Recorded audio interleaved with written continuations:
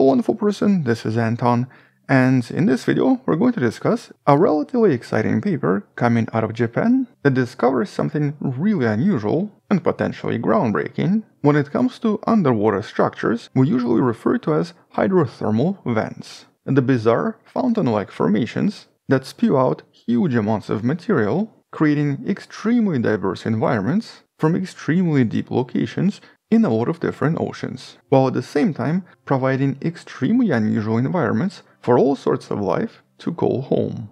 But much more interestingly, for several decades now, certain scientists propose that this could also be the major source of initial life on planet Earth. Or in other words, these potentially served as the location where most life initially formed.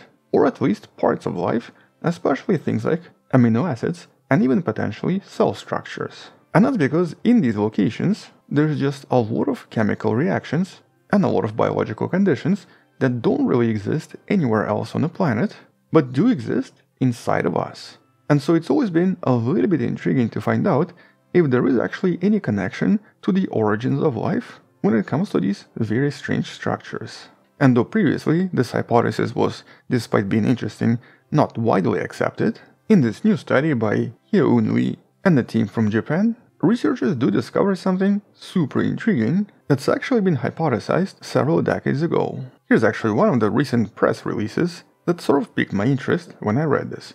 Nanostructures in the deep ocean hint at life's origin. And that's technically what this study is all about. A discovery of really unexpected and somewhat bizarre structures inside these hydrothermal vents that kind of hint at what might be the origin of life. But I guess let's start with the obvious. Even after decades and decades of research, we actually still have absolutely no idea where and how life formed on Earth. But the most accepted proposition is kind of related to the idea known as the primordial soup. The idea that back in the days, possibly inside some kind of a lake or maybe inside some kind of a shallow sea, we essentially had this huge amounts of elements interacting chemically with each other, which when combined with things like for example UV radiation, things like lightning, and possibly a lot of chemical reactions, resulted in the production of first primitive life. But exactly where and how this happened is of course unknown. We have no idea what kind of a body of water this would be, or what's even required to make this happen. But naturally there were a lot of additional ideas, and so as a result, eventually, scientists started to look for other places that might provide life a chance to evolve. And while these hydrothermal vents are potentially one of these locations. They only exist because Earth is geologically active and also because it has a lot of liquid water.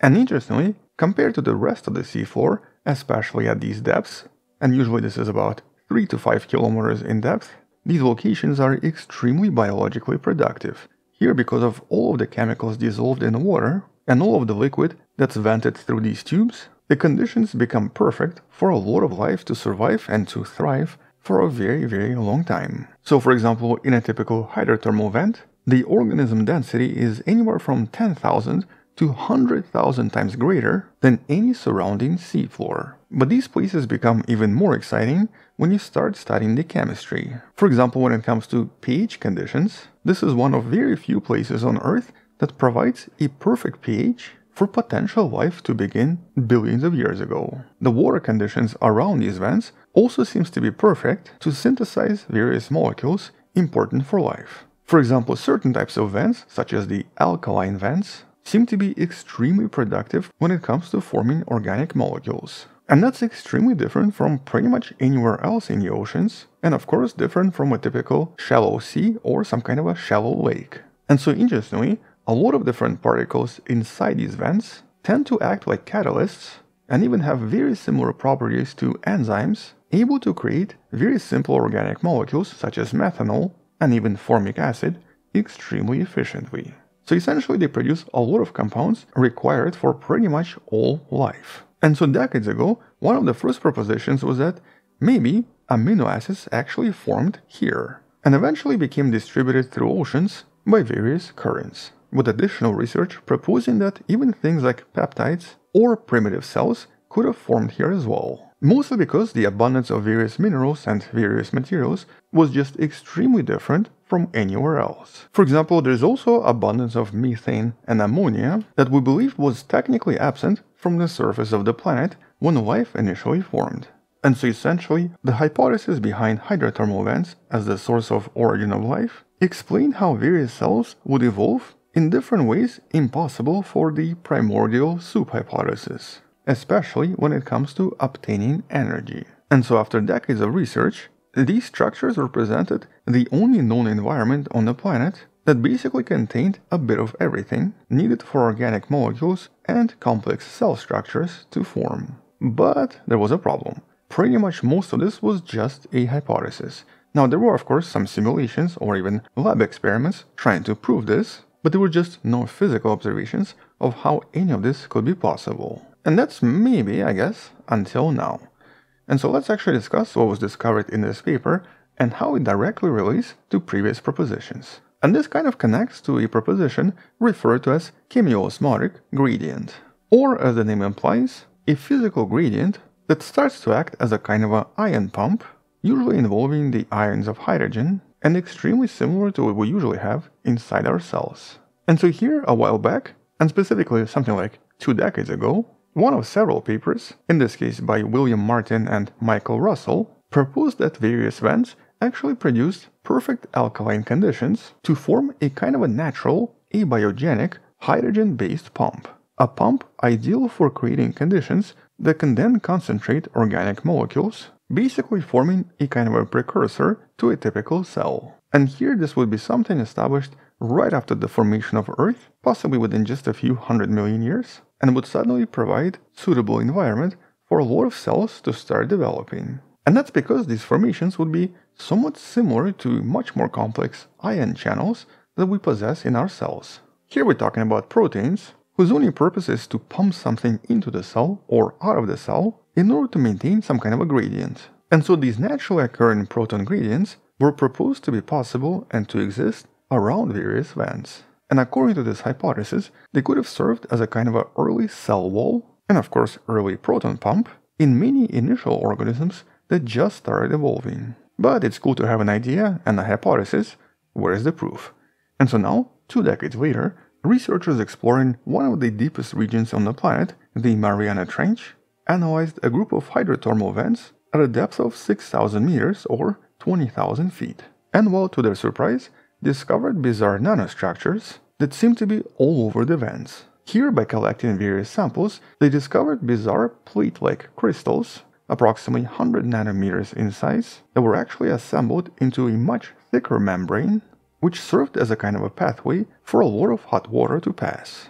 But inside these membranes, they also discovered bizarre stripe patterns, roughly around 200 to 400 micrometers in size, that allow these structures to suddenly become very efficient ion transport pumps. And interestingly, this was actually inside a sample approximately 80 centimeters in size, with the entire sample essentially covered in these structures. And so when they analyzed the structure, they discovered that first of all, it actually produced just a little bit of a voltage, which is exactly what happens inside our cells as well. Because these pumps create a gradient, this gradient also produces voltage. That's of course how, for example, electrical impulses in our brains are produced even right now. But, surprisingly, there was nothing organic about this. Not a single organic material was detected, and everything here was entirely mineral based. So here the energy was generated through a process of osmosis. But because these were also selective ion channels, or they were basically only letting through some of the stuff,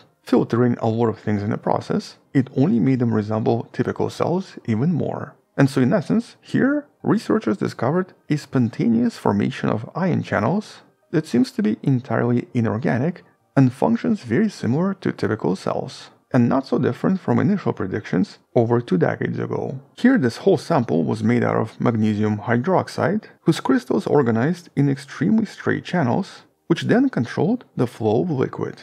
And by itself this was a super bizarre discovery, and technically a discovery important for at least two fields. The first one is obviously the origin of life. So here for biologists, this is a really important confirmation that osmotic energy conversion, extremely important for most modern life, can definitely form abiotically in very specific geological environments. Naturally, because we know these formations very likely exist on Europa, Ganymede, and possibly even as far as Pluto, this is also a super important discovery for the field of astrobiology. And so by discovering this bizarre chemical synthesis system, we might have come a few steps closer to answering the question of the origin of life. But on top of this, since there was a little bit of voltage generated here as well, this is also important for another field, a field referred to as blue energy harvesting, clean, renewable, and long-term sources of energy, very often by using the process of osmosis and various manufactured membranes. This is actually an entirely new field and is not that developed yet, but it does provide us with a new way to generate energy super cheap, very efficiently, and using very clean sources. And so here we might have just discovered another way how osmosis can provide this energy without the use of anything super complicated. And so in this case, by copying what's happening here and generating the same crystals, we can maybe find a way to generate energy without the use of anything but water. So yeah, definitely a super exciting project, an extremely exciting discovery, but something we'll discuss a little bit more because there have been so many different discoveries on the potential origin of life in the last few months. And so once something else is discovered really soon, or I guess once I finish the video I'm making right now on a different intriguing proposition, we'll come back and talk more about this in some of the future videos. Until then, thank you for watching, subscribe, share this with someone who loves learning about space and sciences, come back tomorrow to learn something else, support this channel on Patreon by joining channel membership, or by buying the wonderful person t-shirt you can find in the description. Stay wonderful, I'll see you tomorrow, and as always, bye bye.